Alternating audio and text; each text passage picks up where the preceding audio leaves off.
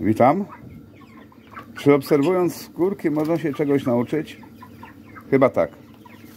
E, Zobaczcie, ja zrobiłem takie e, paśniki e, z rur kanalizacyjnych. One były czyściutkie, bo to były nowe rury, tylko tam gdzieś była pęknięta, kielich urwany. Mm, I do jakiego wniosku doszłem? Zobaczcie, tutaj może tą kurkę wygonię, bo o co tu chodzi z tymi karmikami?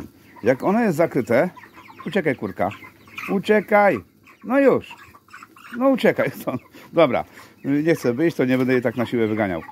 Mm, Jak y, zakryję ten y, paśnik, nazwijmy go, nazwijmy go tak, to po prostu te kurki mają tam ciemno. Y, I tego pożywienia może tak dokładnie nie widzą. Więc otworzyłem i to dopiero dzisiaj rano na to wpadłem.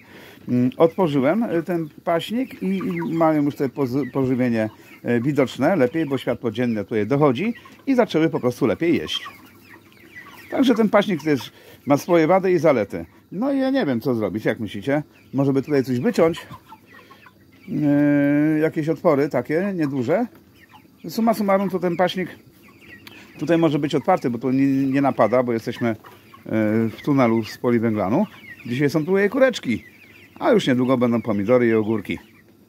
Jak tego kurki się po prostu wypasą mi dokładnie, urosną, no to wiadomo, nie będę mówił, co z nimi się stanie.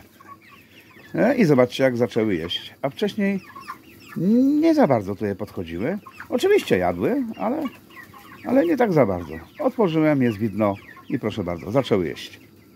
Dzięki, na razie, cześć.